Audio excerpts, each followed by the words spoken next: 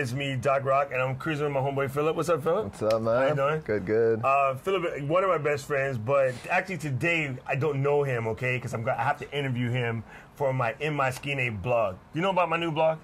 uh, I've heard about it. Why don't you tell me a little bit more about it? You know, I have this crazy addiction for the Moleskine, as you can tell by the myriad of selection here on the table.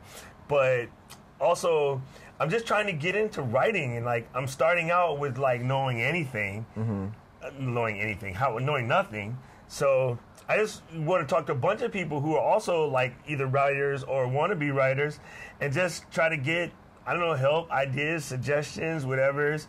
And it seems to me, as I looked, all writers were into Moleskine. That it's like true. it's like the tool you have to have. So I just named the blog that because it was catchy, and two, I really love Moleskine. So I'm gonna assume I'm just gonna ask. Do you use Moleskine? Yes, I do. And why do you like it? Just, it's really convenient as far as notebooks go. I've had like the, the really crappy Mead 69 cent at Walmart before Oh. back to school stuff kind of He thing. said he said mead. Mead. Was it, what was that plastic one we had back in school? I think This, they're um, Trapper Keepers. Trapper Keeper. Trapper Oh my god, yeah. that's super And, funny. you know, after a while, they just kind of start falling apart and stuff like that. So, I forgot. I think you might have turned me on to the Moleskine, but like I bought my first one, and that's all I've been writing in ever since then. Do you know honestly how I got into Moleskine, which is hella funny? No. I was reading a book by a guy named David Allen, Okay. and it's called Getting Things Done.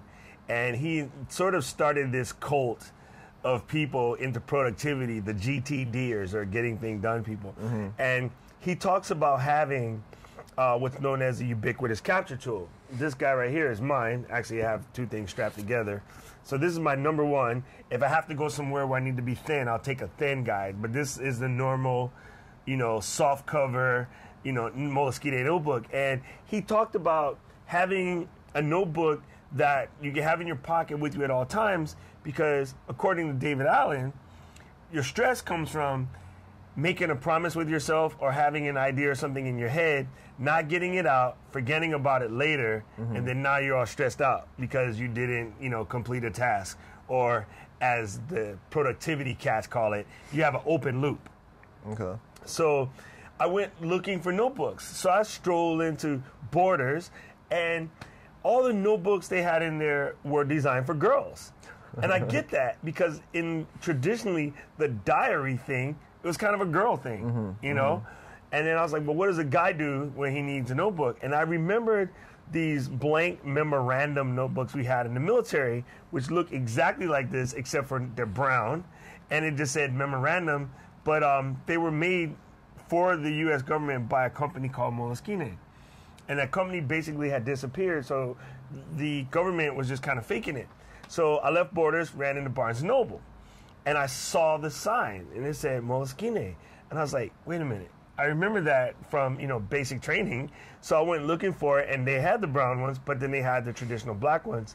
So I bought my first one, which is about 20 of these ago, and it looks exactly like this. And inside there was a little pamphlet that said Ernest Hemingway used it to write his books. Um, a guy named um, what is his name? Oh my God, blank brain just Charles went. Charles Dickens. Charles Dickens, it, uh, a bunch of other famous writers wrote books using these guys. So I'm like, okay, well, they did it. Must be good enough, hey, right? according to Stephen Covey, right? You gotta, you know, model already effective people. So Mm-hmm. I bought it.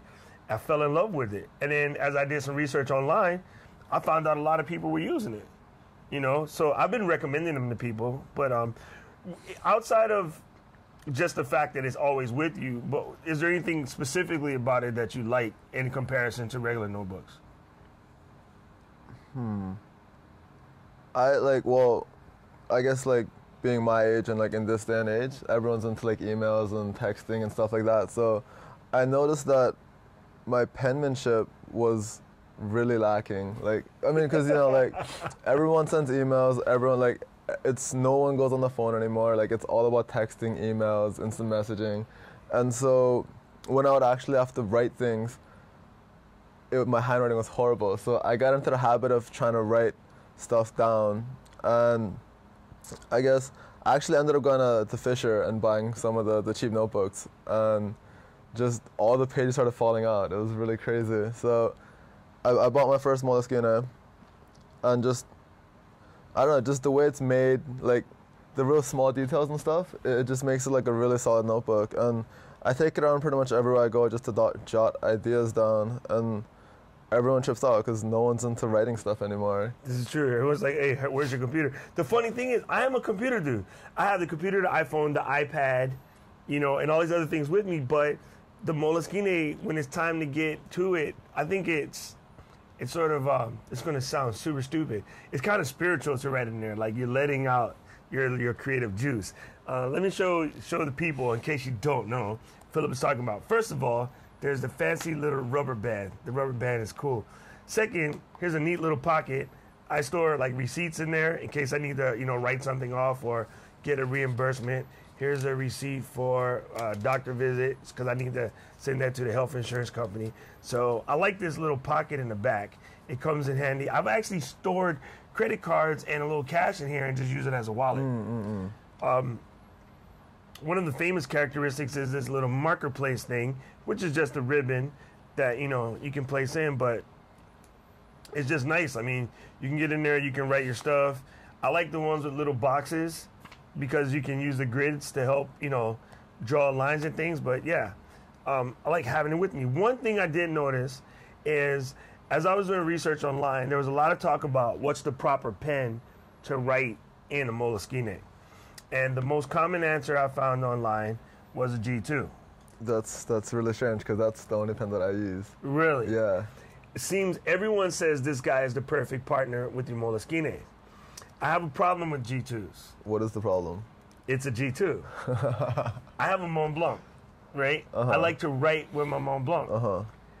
But as it turns out, the natural cartridge for a Mont Mont Blanc, the fine liner rollerball, is a little too heavy for this. The G2 does flow perfectly across the pages. For some reason, it just matches Moleskine paper. So, what I found is there's a way to modify the G2 cartridge to work in the Mont Blanc. so, as stupid as it sounds, I put the ghetto ass 89 cent G2 cartridge in a $400 Mont Blanc and I use it as my pen of choice. Interesting. And the new thing that I recently found this is a Sharpie liquid pencil. I like to write in pencil. Uh huh. Um, what's neat about this guy is a couple of days later it turns permanent like a regular Sharpie. Okay. So, but it, it flows like a pencil. It- you know, it's erasable, and this is another good compliment. Um, on the table, I put out some more things I want to show off people. This is the Moleskine calendar. So when you become like addicted to them, it has a little number. You put your 10 and a 10 because it's October now. And then when you're done with October, you place him in his uh, section on the book here, and then you pull out the next one, which is 11 right? Interesting. And then when you're done for that year, if you want to keep all your little, you know, appointments on on hand, you have a little nice box like this. Throw him on the desk. Ooh, table's glass. you throw him on the desk, and you, you know you get to keep it. But I thought this was a really nice little setup. Um, and when you buy one, you get a little thing here that tells you all about the Moleskine. Basically, an Italian company revamped the historical Moleskines, and that's what we have today.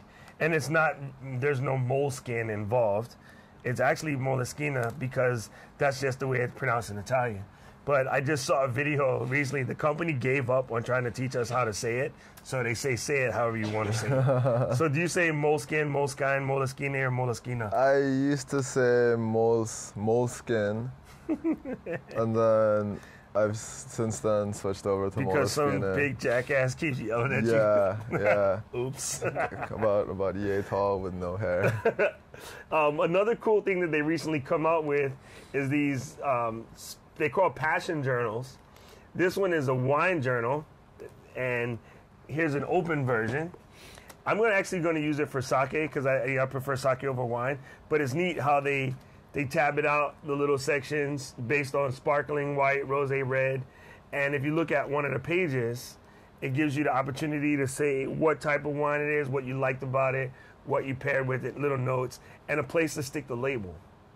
So I, I thought that was kind of cool. It's really really neat. So what do you write mostly in your Moleskine, Philip?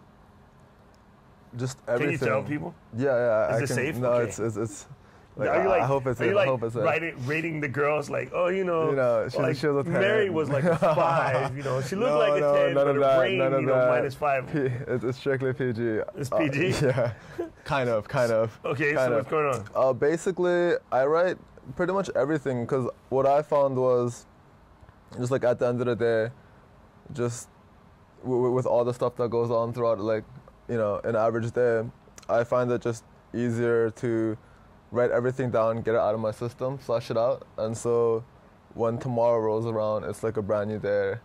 And so I do a lot, like a little bit of that.